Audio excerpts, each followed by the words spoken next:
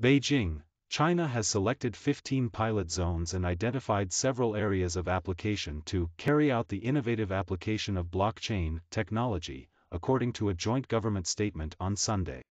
The pilot zones include areas in China's major cities of Beijing and Shanghai, as well as Guangzhou and Chengdu in the southern Guangdong and Sichuan provinces respectively, according to statement on the Cyberspace Administration's official WeChat social media account.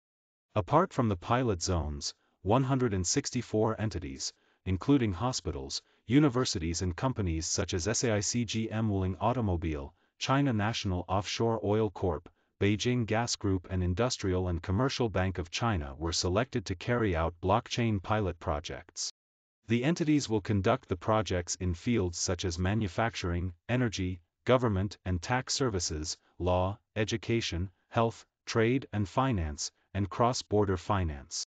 Each area's cyberspace administration and relevant industry regulator should give full play to the role of blockchain in promoting data sharing, optimizing business processes, reducing operating costs and improving collaboration efficiency in building a credible system, the statement said. In October 2019, China President Xi Jinping said the country should accelerate the development of blockchain technology as the core for innovation.